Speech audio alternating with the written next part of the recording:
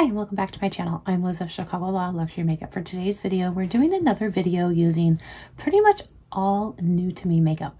So if you're curious to see what products I picked up, how I created this look, and my first impression thoughts, keep watching. So I thought what we would do today is just do another full face of new to me makeup. I have gotten so much new makeup in, and instead of doing individual videos, I thought we would just put a bunch of it together, create a look using all new to me makeup. I'm going to start with a primer that is new to me. I received this in one of my Sephora favorites boxes that I have purchased over the years. And this is the Tatcha Liquid Silk Canvas. I used this the other day. I liked it. It wasn't good. It wasn't bad. So that's the consistency and I'm just going to apply it like I would a moisturizer. So this is not a primer that I would typically use. It left my skin feeling very silky, soft, and most of the time I'm using more of like a gripping primer. Something that the makeup is going to stick to and make it last just a little bit longer. But I had this sample. I did want to give it a try. Now I had the original. This was the Tatcha Silk Canvas. Originally, when I tried this one, I did really like it. And then I did use it with a foundation and it went horribly wrong. So I haven't reached for this since.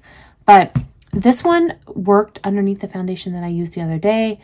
So maybe I will go back and give this other one a try again. Like I said, it's not the typical type of primer that I use. Although I do know that the Tatcha primers have a cult following. For foundation today, I'm going to be using the Charlotte Tilbury. This is the Beautiful Skin Foundation, and I'm going to be using shade 3 Cool. So this is not a new to me foundation. I actually have this foundation just in a different shade. So what happened was, husband's birthday was last week. And he has been staying down at the lake because he is um, he has hurt himself and he has to have back surgery. So he's been in a lot of pain and so he's been staying down at the lake house for the past couple of months. And he usually comes home about once a week or so. So it was his birthday. He was going to come home and then he decided not to. So I made the last minute decision to go see him because it was his birthday and I didn't want him to be alone. So I made the decision to go directly from work. I didn't have any makeup. I didn't have any clothes. I I just went. Um, so I stopped at Sephora on my way down there. There was a Sephora and a Kohl's. And so I stopped there to get a few makeup items that I didn't have because I actually did have some makeup in the car, but I had already done my foundation, my concealer, my powder, and whatnot. Um, I'd already used those products at home, so they weren't in the car. So I stopped at Kohl's that had the Sephora so I could pick up a few items. I also needed some work clothes because I didn't have work clothes. The foundations that they had at the Sephora inside the Kohl's was very, very minimal, like super minimal. Um, and I could not find a foundation that I was like, oh, I want to give this one a try. But they had the Charlotte Tilbury, and I love this Charlotte Tilbury foundation. I love it. But the shade that I have is a lot darker, so I can only wear it in the summer. So I was like, well, let me see if I can find another shade. I don't think that this is a good match, honestly. I think I probably should mix the two and maybe that's what I'll do right now so I can go in with a little bit more. So I have shade 6 Cool, which is really, really deep. So I'm just going to mix a little bit of that and see if I can make this work because this is really, it's a little bit too light. But I do really like the foundation. I just can only wear it in the summer. All right, so mixing those two together definitely seems to be a better match. So, like I said, I picked up a couple new products. I picked up this foundation. I could not, for the life of me, find a concealer. So again, I just bought a backup. I have the NARS Radiant Concealer, which is one of my all-time favorites. And I am getting, running a little bit low. So I went ahead and picked up a backup of that. And then I picked up a new powder, which we'll try today. This is the Rare Beauty powder. Um, I didn't think it was, it was just all right. But we'll give it a try and use it here. When I was doing my makeup at the lake, I was very limited in what I had. I did not have many of my makeup brushes and I definitely didn't have a powder brush. So I actually had to go in with my bronzer brush to add the powder. And I bought a foundation brush. So this is the brush that I bought from Sephora. This is the Sephora Pro collection number 47. I mean, look at the difference. I like a big brush. It's faster, right? I get more coverage. So this brush was awful. I will never, ever use it. Ever. It's too small. It does not, it just doesn't work for me. Some people, I'm sure this is a perfect foundation brush, but for me, I just prefer something a little bit bigger. But you know what? It worked. It was only for one day, so it worked. All right, so there's the foundation. Again, I had to mix those two shades. So I mixed three cool with six cool. It's a lot better. I don't have a new concealer, but I'm going to go in with the Charlotte Tilbury. Since I used Charlotte Tilbury on the cheeks or for complexion, I'll go ahead and use that for concealer. And I have shade 6.5. So I'll just blend that out real quickly with my foundation brush before we move on to this Rare Beauty powder. So here is the powder. This is the Soft Radiance Setting Powder, and I picked up shade Light Medium. I was shocked to see that they had several different shades. So here is the packaging. You get 10 grams. It has a 12-month shelf life, and it's made in Italy. Here is the inside, which I thought was a little bit different. You are able to turn the top to close it, which I was really, I was impressed by that. So I just have a little bit on the top there that I will just pick up with my La Mer powder brush. So right off the bat, I can tell you that the combination of the primer, the foundation, and the powder is not a good match. And I don't know what of those three products doesn't work well together, but I can tell you that the three of them do not work well for my skin. I'm going to scoot in and zoom in to try and show you guys what I'm talking about. Like right here, you can really see my pores. It's almost as if the powder really, really dried down whatever was on my face. I just do not think it looks good. I think it looks really, really bad. I'm going to take my foundation brush and try and go on top of that to try and blend that powder in. Okay, that made it worse. Look at that right there. All right, I'm just gonna stop. I'm just gonna stop. We're gonna keep going. I think from a distance, it'll look fine. It's just if I get up close, you can really, really see that it does not work well together. But I'm going to keep going because I do have other products that I want to try. The fact that this doesn't look good hopefully won't affect the other products. I do not have a new bronzer. I'm just going to go in with my Clé de Peau. I have shade number one. To apply it, I'm using my Chikuhodo FO1. I did pick up a new cream blush. This is the Clé de Peau cream blush, and I have shade number one. Now I already have shade two and shade four. This is shade one, and that's what that looks like. These Clé de Peau blushes are definitely some of the absolute best cream blushes on the market. I really, really, really like them. And I will swatch all three for you here in just a second so you can see the difference. I can tell you right off the bat, shade number one seems to be a lot more pigmented than the other shades that I have. So I'm going to go in order. I will start with shade number one. I have shade number two. And then shade number four is my favorite, and it's the one I use the most. So here's one, two, and four. And like I said, these cream blushes are definitely one of the absolute best on the market. So now I'm going to go in with a new powder blush. This is, again, not new, but new to me. This is the Tom Ford Shade and Illuminate blushes, and I have shade number two, Explicit Flush. And that's what Explicit Flush looks like. It is very, very similar to other Tom Ford blushes that I have in my collection. And you will see that I have swatched it in the past when I unboxed it. That's pretty pigmented. I swear, I don't even know if this video will ever get uploaded. I really don't. So far, it's like everything has been a failure. Everything combined just is not, it is not working. It's just not working today. I'm hopeful that the eyes are going to work. I know that they will. I know that the eye makeup will look good. But right now, the face, I'm not loving it. I'm going to be honest, not loving it. For highlighter, I have a La Bouche Rouge highlighter and I have shade, I don't really see a shade name, but it is the highlighter. When I picked it up during the Bergdorf sale, the cases were not available. So I don't have the cases yet. I'm just going to leave it in this box. At some point, I will pick up the cases though. So I'm going to go in. I picked up a Sonia G Mochi Pro. And I'm just going to go in with that highlight. I think that this highlight is going to be beautiful. I am not going to form an opinion on the highlight right now because right now it looks awful. Awful. That texture is so bad. I think that it's a combination though of the foundation plus the powder. So I'm definitely not going to say that it is the highlight because I think the highlight is going to be really pretty. I'm buffing this down with my Sonia G Smooth Buffer. Yeah, I do not at all like the base of my face right now.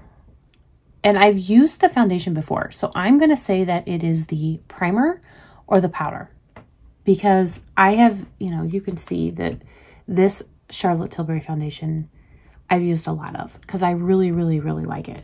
Um, so I don't think that switching to a different shade is going to make that big of a difference. I definitely think it's the powder or the primer.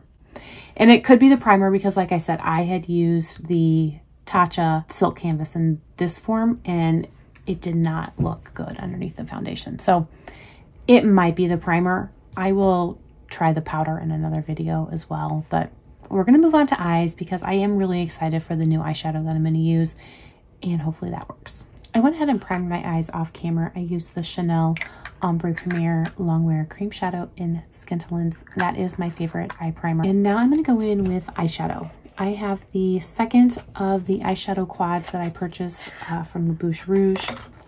Here is what this looks like. And I believe that it is, uh, the quad's name is Tag. And these are mattes. I am really, really excited to try this. I did use a satin quad and I will link that video up in the cards. It was gorgeous absolutely gorgeous. So I do have really high expectations for the all matte one.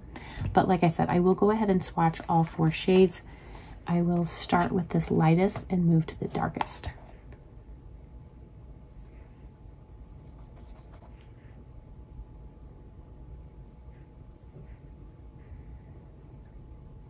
These shadows are so creamy.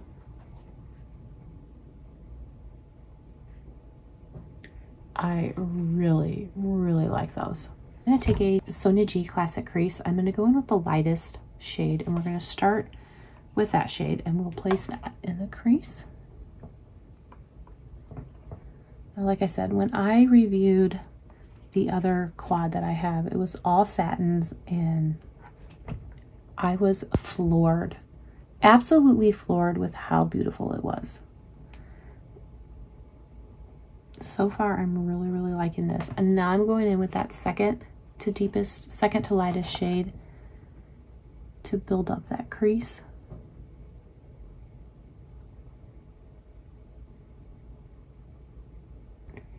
I'm going to take that same brush and go into that brown.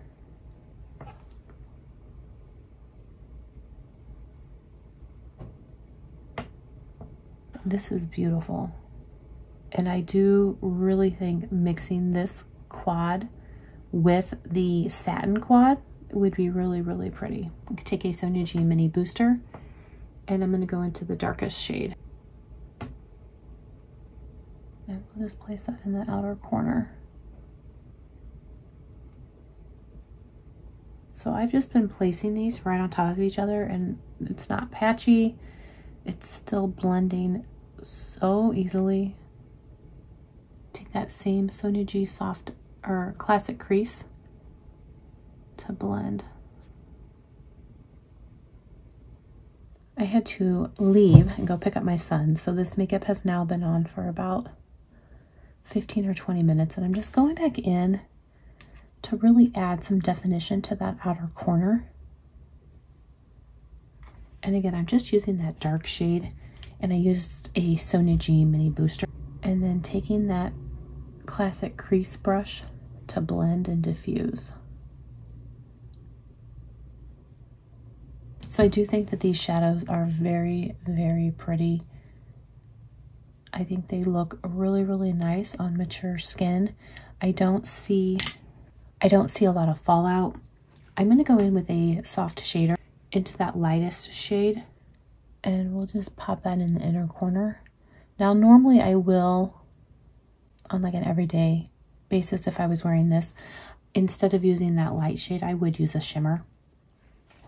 But I just want to use this quad to create the look. So I'm just going in with the lightest of the shades. If I was reaching for this palette on an everyday basis, I would go in with a shimmer. And actually, I'll go in with that highlight shade. So here's that La Bouche Rouge highlight. And I'll just pick a little bit of that highlight up to pop in. That is really, really pretty. So now I'm going to go ahead and line my eyes. To line my eyes, I have the brand new Huda Beauty eyeliner. And this is the Creamy Kohl, and I have shade Very Brown. So I'm going to go ahead and line my eyes with that. For mascara, I have this mascara. I think I got it in Ipsy or BoxyCharm. I think the brand is Izzy. It's a zero waste mascara. I think what you're supposed to do is once you're done, you're supposed to ship this back to them so that they can reuse it. It is a pretty heavy um, metal container. So I will go ahead and use that today along with the Huda Beauty eyeliner and then we'll be back to finish off this look. I do have a new brow product as well as some new lipstick. Here's the finished eye look after eyeliner and mascara. I have to say, I have used this Huda Beauty eyeliner before, just not on camera. I really, really, really like it. Now, this was gifted. Um, however, this video is not sponsored, but I have to say, I really, really like it. The mascara was a little, I don't know, it wasn't my favorite. Here's the wand. It's a little bit different and it did come out with a lot of product. So it was kind of clumpy and kind of hard to use, but overall, I think it looks all right. But the eyeshadow and the eyeliner, I both really, really like. So I do have a new brow product. Now this was gifted. Also, this is the Make Beauty Sculpting Brow Tint, and I have shade Warm Taupe. So here's the packaging. You can see the color there. I really, really like it. Here is the wand. I think it leaves my brows very natural looking, which is something that I really, really like. So I oftentimes don't do anything with my brows, but I tried this and I was really impressed. It also doesn't leave my brows crunchy or hard, which is another thing that I don't like. So this just kind of makes them look like my brows, but better. All right, for lipstick, I won a giveaway over on Instagram from Bluemercury, and one of the items in the giveaway was this lipstick from Chantecaille. Now, this is the Lip Veil, and it's in shade Timbati. I have never actually tried a Chantecaille lip veil. I always end up getting the lip cheeks. So this is a not only a new shade, but a new formula for me. So I'm really excited to try it. I think it is a perfect, perfect shade for me. That is what it looks like. I think it's going to be perfect. Do not have a new lip liner, but I do have a Chantecaille uh, lip liner. This is shade Discreet. I think it's going to look a perfect match. So I will go ahead and line my lips and then we'll try out this new lip veil.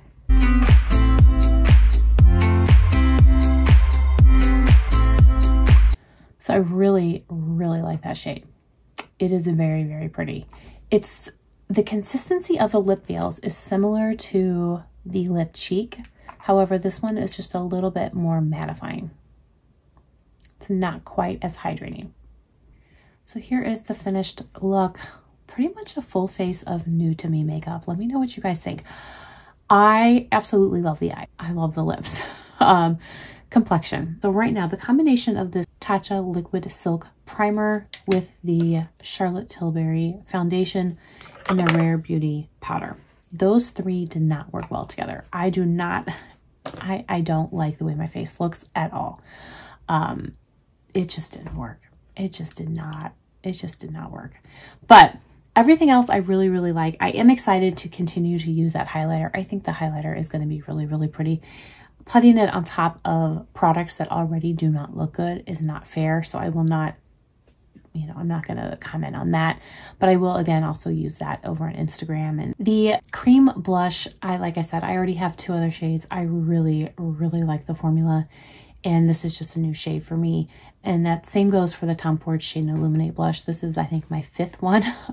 um, there's only six in total. There's only one that I don't have, but I really, really like those blushes as well. So again, I think it's just the complexion products did not work very well together. But let me know what you guys think. I know that on camera, it might look a little bit different than how it appears in person.